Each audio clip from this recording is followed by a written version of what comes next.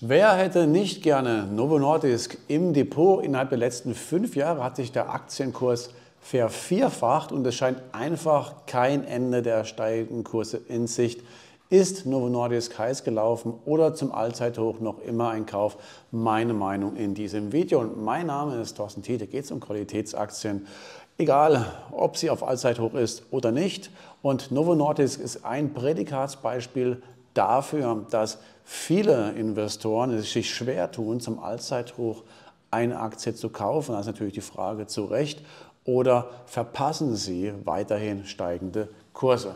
Wir schauen uns Novo Nordisk an und Novo Nordisk haben wir übrigens auch hier im Stadterdepot und auch im Stadterdepot ist Novo Nordisk ein Outperformer. Hier könnt ihr die ganzen Positionen nach G und V sortieren und dann seht ihr hier, Novo Nordisk hat schon 137 Prozent gut gelegt, also zugelegt, Kursgewinn im Starterdepot bei uns, obwohl wir damit Aktiensparpläne monatlich äh, aufstocken und so den Durchschnittspreis in diesem Fall künstlich nach oben schieben. Jetzt aber zu Novo Nordisk im Aktienfinder und wir sehen hier zunächst mal die Performance von Novo Nordisk hier auf fünf Jahre über 400 Prozent zugelegt. Das meiste davon selbstverständlich Kursgewinne. Den Grund für die steigenden Kurse kennen wir vermutlich auch schon. Wenn wir hier auf zehn Jahre rauszoomen, dann sehen wir, dass ungefähr ab Frühjahr 2021 die Aktie eine wahnsinnige Performance hingelegt hat mit jährlichen Kursgewinn aufs Jahr runtergerechnet von über 50 Prozent.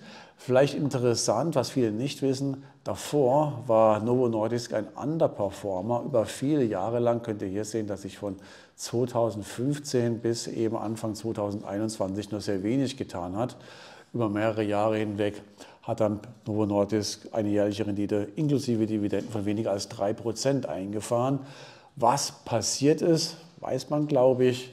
Ähm, und zwar gibt es ein neues Geschäftsfeld. Man hat dann entdeckt, dass die Wirkstoffe, die dann in Ozempic und Wegovi auch verbaut werden, äh, gegen Übergewicht helfen, also als Appetitzügler.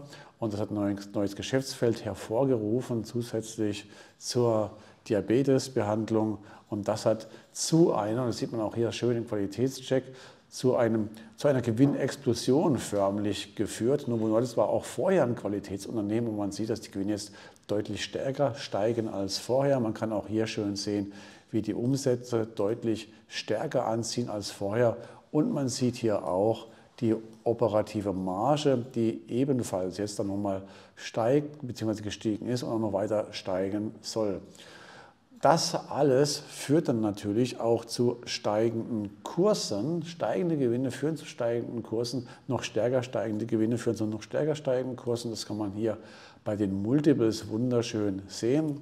Hier am Beispiel des Gewinns des KGVs haben wir hier das bilanzierte KGV und dann sieht man hier die KGV-Expansion, während wir hier Novo Nordisk bewertet hatten, noch lange Zeit während der Schwächephase hier mit unter 20 teilweise KGVs, hier bis zu 15 ging es runter, hatten wir hier jetzt ein KGVs von bis zu 40, aktuell um die 33. Wenn wir jetzt also steigende Unternehmensgewinne haben, plus, also plus steigende Multiples, dann führt das zu exorbitant steigenden Aktienkursen. Das habe ich ja gerade eben schon gezeigt. Und da ist jetzt natürlich die alles entscheidende Frage, soll ich noch einsteigen? Das hängt natürlich damit zusammen, wie hoch ist das Renditepotenzial dieser Aktie auf dem Allzeithoch und die, und die Rendite setzt sich ja zusammen, zum einen aus Dividenden, zum anderen aus Kursgewinn. Schauen wir uns mal kurz die Dividenden an und dann kann man hier sehen, dass die Dividendenrendite in der letzten Zeit jetzt stetig abgenommen hat, liegt momentan bei unter einem Prozent, 0,94 Prozent. Auf der anderen Seite kann man auch schön sehen, dass in naher Zukunft schon die Dividenden dynamisch steigen sollen. Und 2% wäre hier schon Anfang 2026 laut Analysten erreicht. Das wäre dann die persönliche Dividendenrendite bei einem Kauf heute. Man sieht auch hier im Dividendenbenchmark, wie natürlich alles Prognose, die Dividende sich entwickeln könnte, beziehungsweise eine persönliche Dividendenrendite. Und da hätten wir hier im Jahr 2030 schon beispielsweise eine Dividendenrendite erwartet bei einem Kauf heute von über 3 Prozent. Nichtsdestotrotz im Performance Chart siehst du ja, dass das meiste deiner Rendite über Kursgewinne und nicht über die Dividende erzielt wird.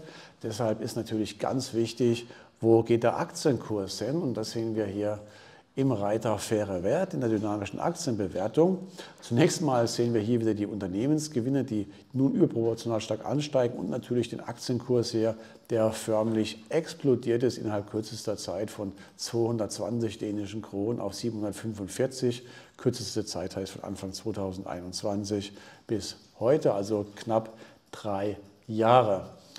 Wenn wir jetzt wissen wollen, wie hoch das Renditepotenzial ist, dann nehmen wir mal den fairen Wert und blenden den mit ein, was wir hier zunächst rauskriegen, out of the box, mit einem fairen Wert berechnet auf den Durchschnitt der letzten zehn Jahre, dann haben wir hier eine krasse Überbewertung. Da wäre der faire Wert auf Ende 2023 hier bei 465 dänischen Kronen, was natürlich deutlich unter den 745 sind.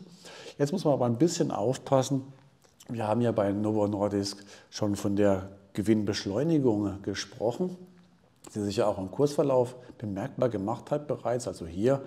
Und ich würde sagen, wir berechnen jetzt nicht auf die letzten zehn Jahre das durchschnittliche KGV und ziehen das für die Bestimmung des Fernwerts heran, sondern wir nehmen den Zeitraum erst ab 2021. Da, das ist der Zeitraum, zu dem der Markt, hier sieht man auch schön in der Kursentwicklung, Novo Nordisk, das neue Geschäftsfeld von Novo Nordisk angefangen hat einzupreisen. Und das ist dann das neue Novo Nordisk, das repräsentativer ist für die Berechnung durchschnittlicher Multiples zur Bestimmung des fairen Werts. Und das machen wir hier, indem wir die Maustaste gedrückt halten und über den entsprechenden Zeitraum jetzt ziehen. Und jetzt wird das durchschnittliche KGV hier von 25,5 auf 33,2 springen und man sieht, dass der faire Wert nun deutlich höher ist. Jetzt liegt er plötzlich bei 606 dänischen Kronen. Zoomen wir noch ein bisschen näher rein. Dann haben wir zwar immer noch eine Überbewertung, aber sie hat sich deutlich reduziert und was jetzt noch wichtiger ist, wir sehen hier anhand der Analystenschätzungen können wir ja den fairen Wert auch in der Zukunft berechnen. Wir haben ja sehr viele Analysten, die Novo Nordisk covern, 20 für das Ende 2024 laufenden Geschäftsjahres und noch 19 beispielsweise für das nächste Geschäftsjahr, dann 2025. Und hier liegt dann der faire Wert bei einem KGV von 33 bei 877 dänischen Kronen, hätte also den aktuellen Aktienkurs schon überschritten, was einer jährlichen Rendite entspräche von schon bereits 10,2 Prozent. Wenn wir noch ein Jahr dranhängen bei der Haltedauer, dann wird, der, dann wird die jährliche erwartete Rendite noch größer, dann liegt sie bei 12,7 Prozent, weil ja das Gewinnwachstum hier mit knapp 20 Prozent über die nächsten Jahre nochmal deutlich über den 10 Prozent liegt. Und wenn wir nochmal ein Jahr dranhängen, dann hätten wir eine Renditeerwartung jährlich von bereits 13 Prozent. Das heißt, Novo Nordisk ist nach wie vor ein attraktives Investment. Und äh, was ich jetzt aber an der Stelle vermutlich empfehlen würde, wäre nicht sofort einzusteigen, weil man müsste, es gibt natürlich auch wie bei jedem Investment Risiken und die liegen bei Novo Nordisk aus meiner Sicht fallen mir da drei ein. Das eine ist ein politisches Risiko, weil ähm, oft der Staat ja dann auch für Gesundheitsleistungen aufkommt und der Staat versucht ja entsprechend dann immer wieder auch die Kosten zu drücken. Und das könnte sich auch bei Novo Nordisk bemerkbar machen. Das, heißt, das würde dann zu sinkenden Margen führen. Dann gibt es natürlich noch gewisse Produktionsrisiken. Die Nachfrage ist momentan ja so groß, dass Novo Nordisk mit dem Produzieren nicht hinterherkommt. Und dann hätten wir auch natürlich noch Konkurrenten wie Eli Lilly, die ebenfalls in dem Business versuchen zu wildern. Es gibt also Risiken, aber auch große Chancen bei der Novo Nordisk Aktie. Sie war schon eine Qualitätsaktie vor vielen Jahren, sie ist immer noch eine Qualitätsaktie und aus meiner Sicht immer noch viel Renditepotenzial da. Für, aus meiner Sicht ist dann auch, aber an dieser Stelle auch keine Kauf- und Verkaufsempfehlung. Für mich wäre jetzt persönlich die Aktie kaufenswert und ich könnte mir vorstellen, dass man hier gestaffelt einsteigt, um das Einmalrisiko zu reduzieren. So, Das ist ein Beispiel Novo Nordisk für eine Aktie auf Allzeithoch, die immer noch kaufenswert sind. Es gibt natürlich noch andere Aktien, die dasselbe betrifft. Jetzt würde mich natürlich deine Meinung interessieren. Wie stehst du zu Novo Nordisk? Ist die Aktie jetzt auf Allzeithoch noch ein Kauf? Einfach Kommentar unten erfassen und ich antworte natürlich gerne. Vielen Dank fürs Zuschauen und bis zum nächsten Mal. Ciao.